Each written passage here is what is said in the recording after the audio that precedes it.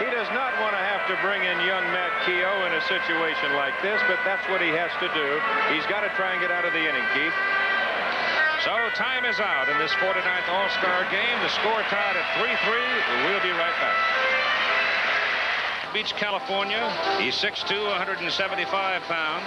He's 6 foot four. Dad Marty Keough, former Red Sox outfielder. The batter is Ted Simmons to face uh, the young Oakland right-hander. One other note on Garvey, he's now hit safely in five straight All-Star games as Keough is outside. The National League record of six consecutive games, Musial, Mays, and Bench. The American League record, seven by Mantle.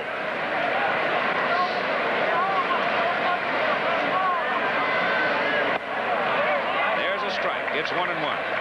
There's the little Scroogey that this young man has. And I said before, Keith, that this kid right here, Matt Keough, has pitched only about a year and a half. Well, maybe two years, including half of this year. And I'll tell you, he pitches out there like he's been around 15 years.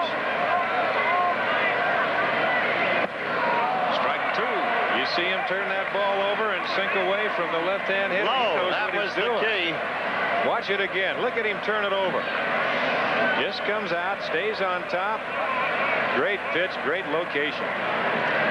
Flanagan is now in the bullpen for the American League, a left-hander. Up and coming back and into the crowd. Carlton Fisk can't get to it. Count is one and two. National League with three runs in the bottom of the third inning to tie, chasing Jim Palmer. Still two out. Luzinski is at second base. Garvey is at first base.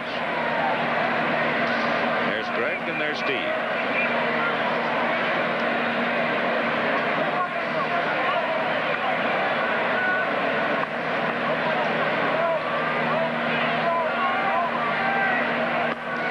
just outside. Those people you see in the background there are in a camera well back of home plate, a considerable distance away from home plate. It is not disconcerting to the pitcher because they are so far away. It's a foreshortening of the lens that makes them look a little closer to you.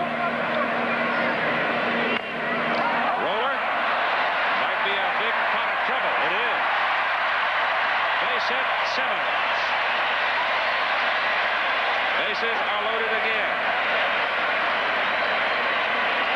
Check swing hit.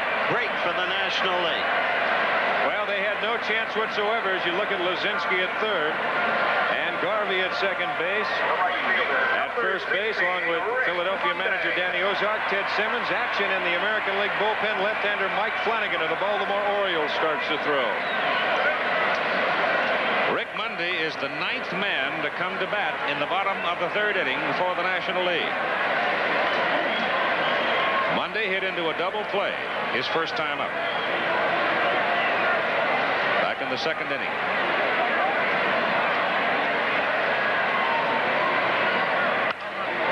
High fly ball left field. Rice goes back. Jimmy still going back. Makes the catch, and the inning is finally over.